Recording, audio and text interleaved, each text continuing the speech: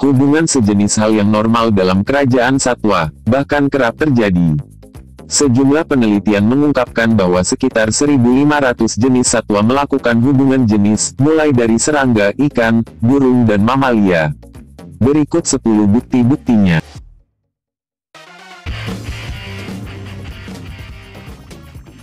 Number 10. Jerapah, si pengendus leher. Pada keluarga jerapah, hubungan berjenis kelamin sama jauh lebih sering terjadi dibandingkan yang berbeda jenis, bahkan jumlahnya menurut sejumlah penelitian mencapai 90%. Jerapah jantan dikenal sebagai penggoda ulung.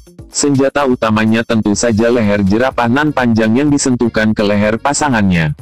Tarian leher ini ibarat foreplay, yang bisa berlangsung hingga satu jam. Number 9. Sinyal cinta, lumba-lumba hidung botol. Di dunia lumba-lumba hidung botol, baik jantan maupun betina tertarik dengan pasangan sejenis. Sinyal ketertarikan ini diperlihatkan lewat mendekatkan moncong ke lumba-lumba yang diincar. Meski kedua jenis lumba-lumba memperlihatkan tingkat ketertarikan yang sama, yang jantan cenderung biseksual.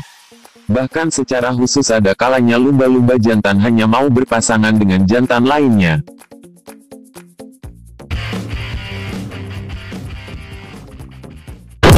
8. Koalisi singa jantan. Homoseksualitas adalah hal yang lazim di antara singa jantan. 2-4 jantan biasanya berkoalisi untuk menyusun strategi, merayu, singa betina. Anggota koalisi memiliki ikatan sangat erat dan bersetubuh dengan sesama jantan. Kesetiaan diperlukan agar mampu menandingi koalisi lainnya. Para ilmuwan menyebutnya bukan sebagai hubungan homoseksual melainkan bromance, alias broter romance. Number 7.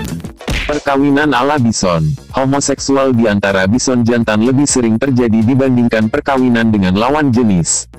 Ini terjadi karena bison betina secara alamiah hanya kawin sekali setahun. Pada saat musim kawin, bison jantan cenderung memiliki nafsu yang tinggi dan akan mengawini pejantan lainnya beberapa kali dalam sehari.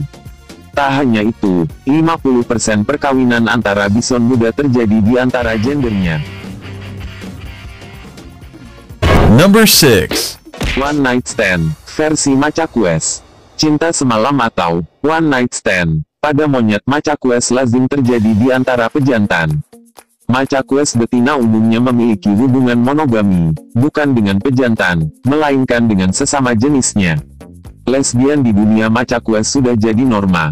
Hubungan di antara Maca Quest betina gitu dekat, baik saat tidur maupun kawin dengan yang jantan.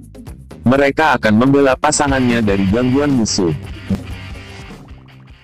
Number 5. Janji setia albatros. Burung Laison albatros di Hawaii adalah salah satu jenis burung dengan jumlah lesbian terbanyak. Sekitar 30% perkawinan di Pulau Oahu terjadi antara dua betina. Pasangan ini memiliki hubungan monogami dan biasanya setia hidup bersama sepanjang hidupnya. Anak Albatros dibesarkan oleh dua ibu, meski tentu saja ia memiliki ayah dari Albatros jantan yang sudah memiliki pasangan setia lainnya. Number 4. Bonobo, si pencari kenikmatan. Bonobo adalah salah satu primata yang memiliki hubungan terdekat dengan manusia dan dikenal sebagai primata pencari kenikmatan seksual. Mereka acap kawin dengan sesama jenis. Selain untuk kenikmatan, hubungan sejenis dilakukan untuk mempererat ikatan sesamanya dan juga mengurangi ketegangan. Hampir 2 per 3 hubungan sejenis terjadi antara betina, tapi pejantan juga suka berguling bersama di atas rumput. Number 3. Seperlima pasangan angsa adalah gay. Angsa juga menjalin hubungan monogami. Mereka dikenal sangat setia, tapi banyak di antara mereka memiliki hubungan sejenis. Sekitar 20% pasangan angsa adalah gay. Meski sejenis, pasangan angsa ini berkomitmen untuk memulai kehidupan berkeluarga. Biasanya salah satu angsa jantan mengawini angsa betina. Namun saat sang betina bertelur, angsa jantan akan mengusirnya. Number 2. Mari berpelukan, walrus. Ternyata saling berpelukan sembari tidur juga menjadi aktivitas yang disukai walrus. Mereka juga suka berdekatan dalam air. Aktivitas berpelukan hanya dilakukan walrus jantan. Walrus sepenuhnya gay hingga 4 tahun atau sampai mencapai kematangan seksual. Ketika sudah dewasa, walrus jantan akan mengawini walrus betina. Pada sisa musim kawin walrus jantan kembali berhubungan dengan sesamanya. Number 1. Domba pun memilih. Penelitian membuktikan bahwa 8% jantan pada sekumpulan domba akan memilih domba sejenis meskipun betina yang siap kawin berada di sekitar mereka. Namun, fenomena ini hanya terjadi di antara domba ternakan. Hasil riset memperlihatkan domba gay ini memiliki struktur otak yang berbeda dengan domba heteroseksual dan memiliki kadar hormon seks yang lebih rendah.